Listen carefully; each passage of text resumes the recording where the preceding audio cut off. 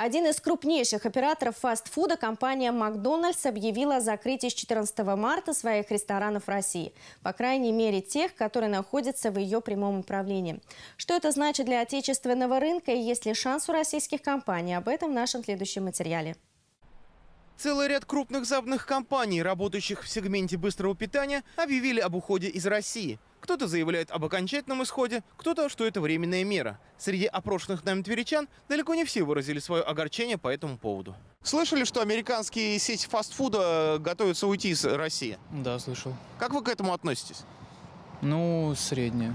Мне бы, конечно, хотелось, чтобы можно было куда-нибудь зайти покушать. Будет грустно, когда закроют его все-таки любимый ресторан для всех. Прием пищи там хоть, ну, для здоровья не очень полезный, но вкусный. Не хожу по этим Макдональдсам вообще. Предпочитаю только все отечественное. Ну, мы привыкли туда ходить, там вкусно, поэтому грустно. Когда ты э, постоянно ешь у бабушки пирожки, хочется чего-то другого. Поэтому в, в свободном доступе есть и американская еда, почему бы нет. И поэтому, когда есть возможность, я ем в Макдаке. Все равно, закроется, не закроется. Безразлично. Ну, это, конечно, плохо, потому что люди все привыкли, с удовольствием все пользуются Макдональдсом. Конечно, плохо. Абсолютно равнодушно, если честно. Ну, я проживу без Макдональдса, так что все хорошо.